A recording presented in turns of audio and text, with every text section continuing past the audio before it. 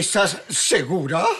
Escuché clarito cuando el Félix se lo contaba al monaguillo pollo gordo. Pobre señora Charo.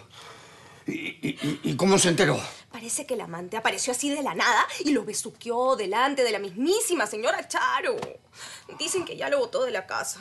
Bien hecho. ¿Y, y- tú cómo te has enterado de conversaciones ajenas?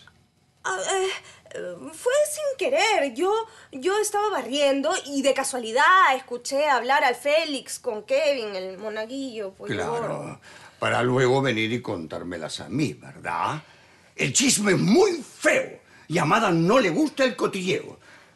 Si se entera que estás pendiente de las conversaciones ajenas, se va a molestar horrible contigo. No, no se va a enterar, se lo prometo. Ya. Por favor, Monserrat, ¿ah? Ni una sola palabra, Amada, de lo que hemos conversado.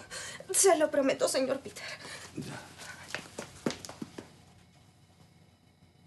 Como no estuve ahí...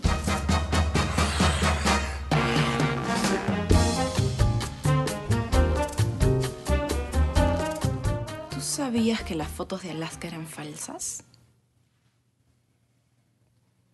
Nicolás, respóndeme. Bueno, sí, sí, me di cuenta. Pero Grace, por favor, hasta un niño se hubiese dado cuenta que esas fotos eran trucadas. Este oso polar es súper falso. Es súper falso. Se ve el cierre del disfraz.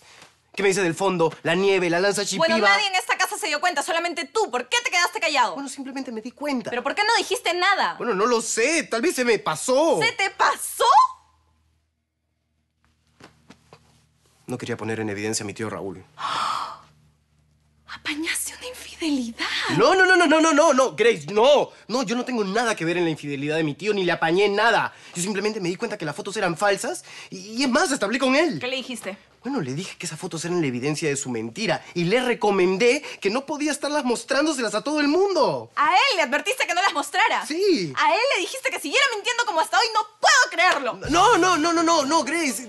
Yo, yo lo hice porque no quería que, que haga el ridículo. Sobre todo después de, de- de haber ido a Miami a buscarme. Pudiste haber hablado antes y evitarle todo este dolor a mi mamá. Bueno, yo jamás me imaginé que la idiotez de mi tío Raúl iba a trascender tanto. Es más, yo hablé con él y él me dijo que no había pasado absolutamente nada con su amiguita. ¿Tú sabías de la existencia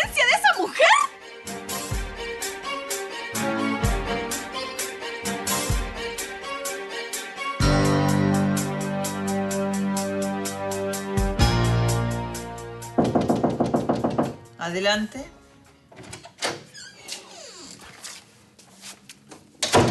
La manzanilla que me pidió, madame. Yo no te pedí ninguna manzanilla, Peter. ¿Ah, no? Mm, Que yo sepa, no.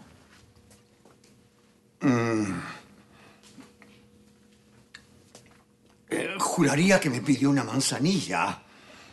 Te conozco muy bien, Peter. ¿Hay algo que me quieras contar?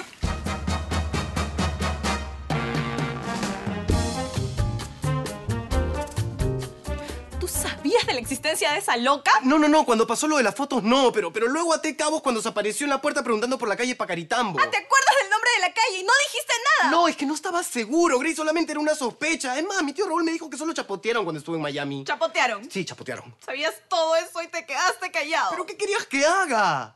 Que me lo digas a mí. Perdón, pero yo no soy un chismoso, Grace.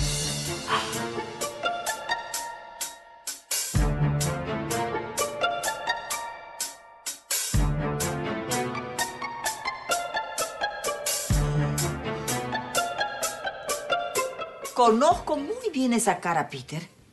¿Qué ha pasado? Discúlpeme, madame, pero no estoy acostumbrado a contar a viva voz los problemas de los demás. ¿Qué problemas? Es una tragedia. ¿Una tragedia? Sí, ni se imagina. Es una bomba. Peter, bueno, ya que eres tan discreto, no es necesario que me lo digas directamente, ¿no? Eh. Más bien haz una escena de mimo para que yo entienda qué es lo que pasa. Bueno, es una decisión salomónica. Empieza, la Peter. Bueno, ahí va.